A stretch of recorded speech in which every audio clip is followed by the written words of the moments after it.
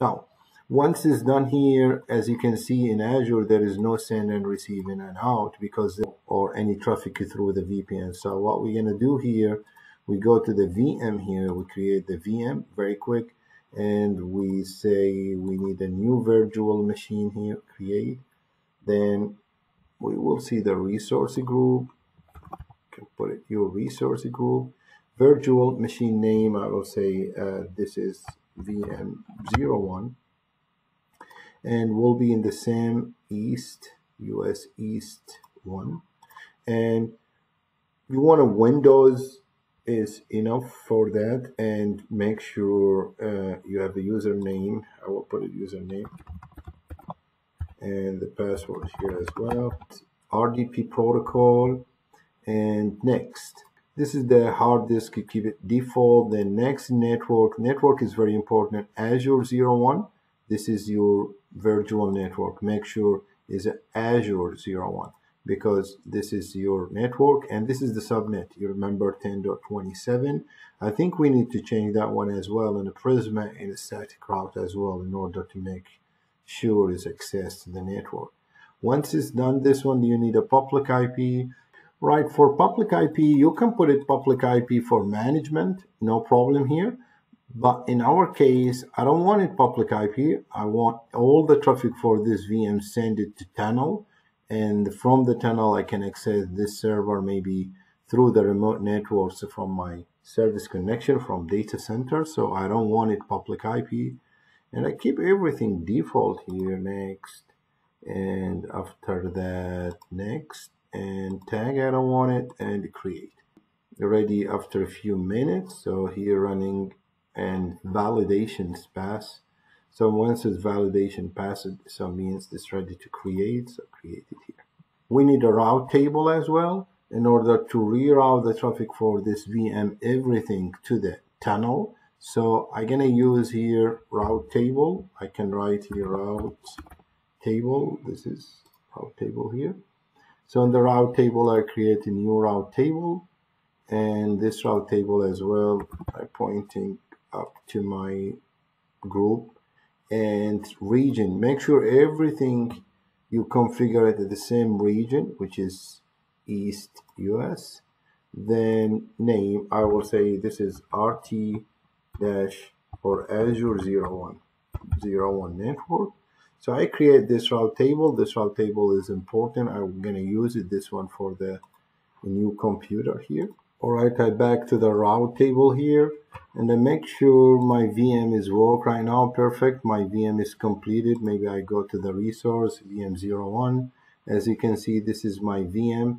As you can see, I don't have public IP because I will route all the traffic for this VM to the private VPN tunnel. So this VM IP 10.27.1.4 private IP so you back to the route table here. I think from here, route table, and our route they call RT dash space. I think this one. Yep, that one. So now this is the route table here for the computer. So remember I I tied the subnet here for the computer here in this route table. So I go to the routes here. As you can see here in the route, I will add to Prisma. I want send to Prisma. I want to send address everything slash zero, everything I want to send to the virtual network gateway, the VM here. So I hit OK here and will be processed. Mean all the traffic for this VM will be go to the Prisma access and everything from this computer will be go to the Prisma access. So how to make sure everything work fine? Because if you go to the connected here for the VPN, connected one, still zero send and receive as you can see here. So what I try to do now, I will try to test the VPN from the Prisma access is work or no. So how to do that? I will go back to our design. If you remember our design here, I will back to the Prisma access.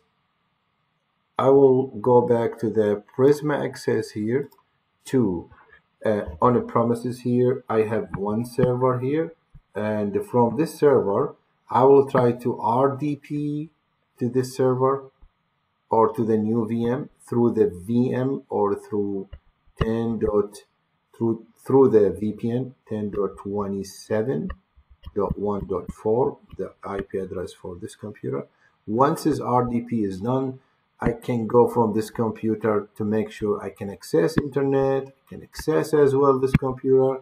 I make sure the tunnel this is work. Once actually is have a RDP access to this VM through this tunnel mean the tunnel works and send receive will be work perfectly. Let's go to try that. I will go here and I will add this network 10.27.0.0 slash 16 in my route table in my firewall here. So let's go there in firewall and do that.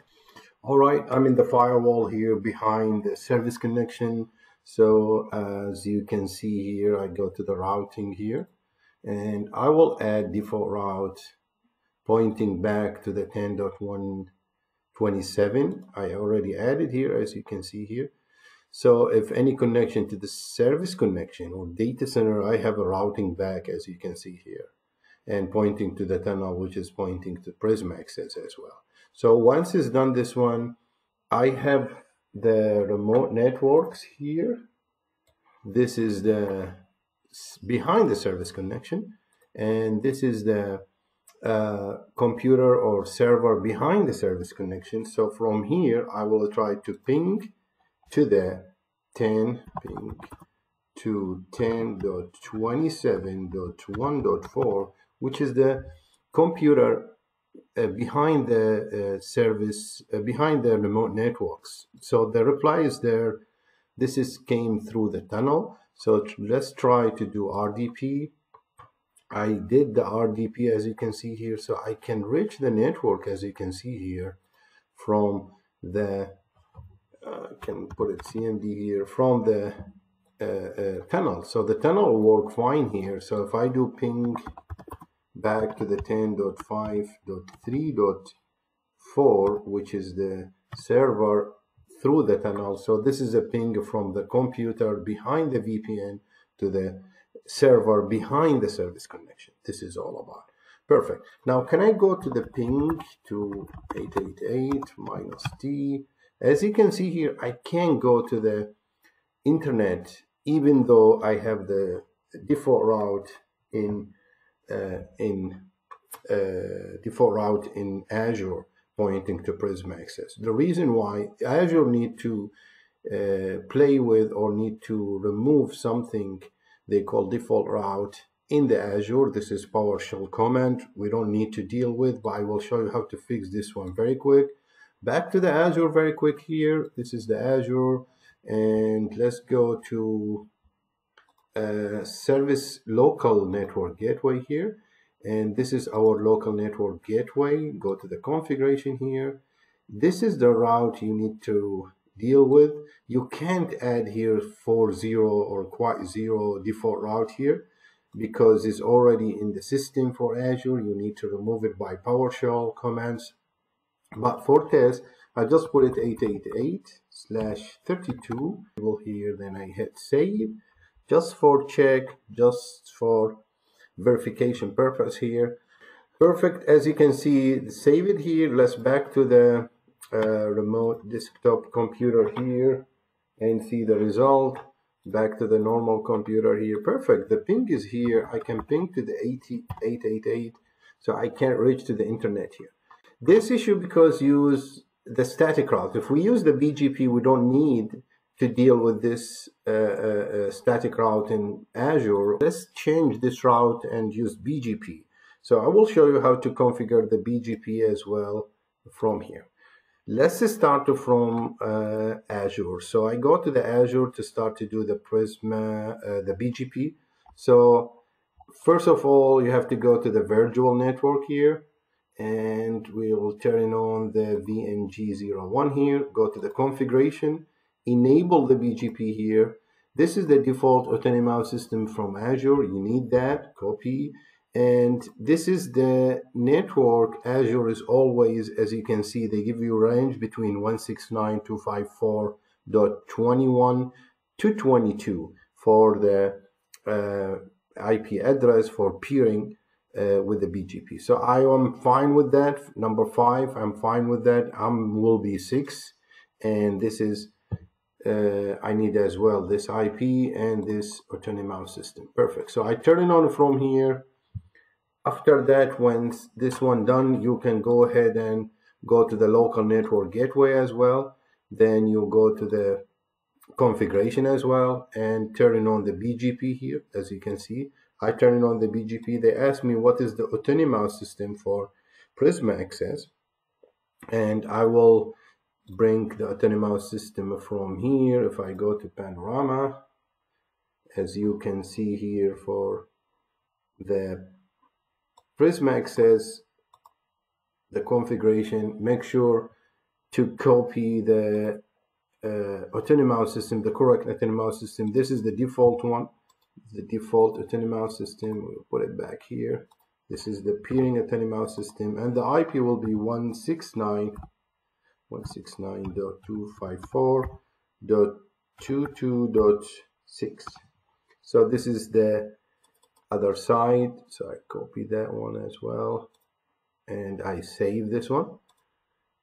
And another part we need within the connection but you have to make sure the save BGP save it here and complete it here before to go to the connection. So let's check it out still the connection or local network gateway is still in progress here. Uh, so maybe waiting here in order to finish the configuration for connected. Because if you go to the connected here, connection and configuration as well, and turn on the BGP, you see here, enable and save it, they give you error here. You need, you have to have completed here for the local network gateway first. Once it's finished, as you see, everything is fine. I can turn it on now and save it. So we go through without any uh, issue. Perfect. So I will configure uh, Prisma Access. So I need the uh, autonomous system for Azure. I go here, remote networks. They go to the, yeah, given Azure RN here. So I said, I don't want it static anymore. Delete that. I need enable here. I think I configured it before. Yep, perfect. This is the autonomous system, correct? And this is the peering dot five and dot six. It is the uh, my local IP address. And make sure to advertise default route. If you don't put it this, we never get access to the internet from the computer behind the VPN in Azure. Perfect. Once is this one done, I will go here and save the configuration. I will go ahead and save the configuration here in remote networks. Perfect. And as well in the uh, uh, Azure is already saved. As you can see here, the last uh, enablement for the connections is went through. As you can see here in the configuration, BGP is turning on here as well. Perfect. Don't forget to remove this these networks because you don't need anymore. It's supposed to coming from BGP dynamically. So I removed everything and save as well when I install or enable BGP setting as well. Otherwise, the static routing will be still preferred. So it's better to remove the static route from here and prefer the BGP dynamic route between Azure and Prisma Access in this case. All right, check the, yeah, the configuration look like it's completed. Push it to the cloud here. So how to check the BGP is established or no. As you know, in the status, you go to the network details. In the network details, go to the remote networks and go to the specific uh, branch or remote networks instance. So when you click here in a branch as end router, then in peer here, yep, as you can see, it's status, it is uh, established. So Uh, sometimes you see connected or active doesn't work, should be established here. As you can see here, the peering IP as well with autonomous systems, and there is no security during the installation between the peering. You can put an authentication password as well in order to make more secure, but you are all through the tunnel at the end. RIB or route information base with the out as well. This is, it takes time. So maybe let's see the result from the computer once when the BGP establishes status. So I will go to the remote networks here, the computer, and I back to the computer VM behind the VPN and I will turn on CMD again and I ping to Google for example again. T perfect. As you can see here now this is through BGP is no more uh, static route. If you go to access internet as well let's check very quick. We can reach to the network. Looks like the network work as well. Perfect. So the network and the access to the internet or SaaS application is there. Look like this work. Very quick check as well for the can I access to my uh, service connection as well very quick. Let's check it out this. So here I will do ping to 10.5.3.4 which is the uh, server behind Uh, service connection. Perfect. I can access privately as well. And this is the show as the connection is work fine. And let's go very quick to see very important thing and consider the last piece. If you go to the connection here, we can check the last part here in the connection. In overview, as you can see here, I have a traffic back and forth in and out through the tunnel and the tunnel is connected. So should be everything is okay at that point. All right, you can check as well the traffic from monitor here. If you go to Prisma Access, I put the filter here for uh, the PC behind the VPN. As you can see here, they use uh, from Azure uh, remote networks and you can see untrusted to untrusted here. Then they go to the internet access. As you can see here this is the internet access from this computer. If I put it the destination as well where's the destination?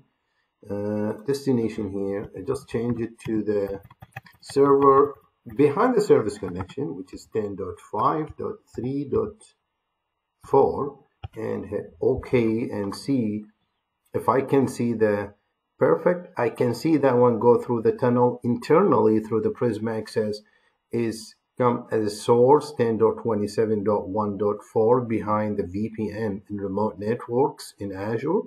And they go through the service connection or Prisma Access through the service connection, reach to the server behind the service connection, which is 10.5.3.4 internally.